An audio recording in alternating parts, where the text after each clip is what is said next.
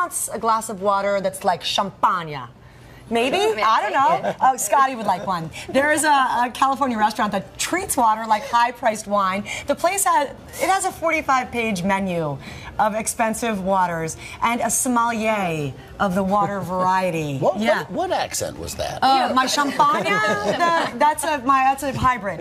Um, I speak as many languages. Uh, ABC's Oh, Nick, oui.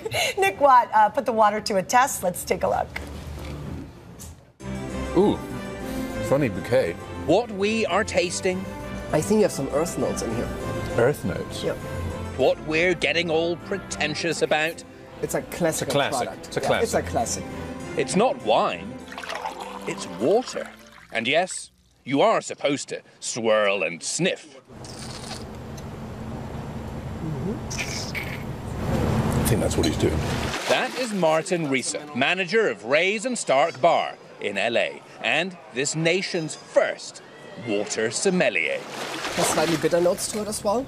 Riese just introduced, alongside the food and wine menus, a water menu. 20 brands from 12 different countries at up to 20 bucks a pop. You can actually taste the difference. Oh, definitely. You promise. Oh yeah, definitely. This guy wrote the book on water. I mean, he actually wrote the book, Die Welt des Wasser, in his native German. We're about to go head to head in a blind tasting. Don't let me see your list because I'll cheat. No, no, no, no. The Teutonic Taste Master was lightning fast. I'm done. I think. You're done. I was desperate for the bathroom. My taste buds were shot. I feel my palate's been compromised. The result?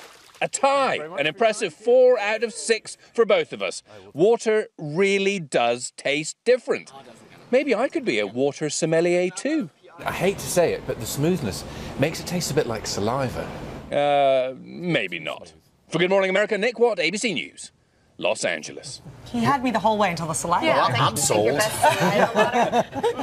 best side of water. That's Yeah, it's it's Unfortunate. Uh, Chris- Chris Harrison was weighing was weighing in. You won't be at that restaurant. Well, I just said if you see me there, feel free to punch me.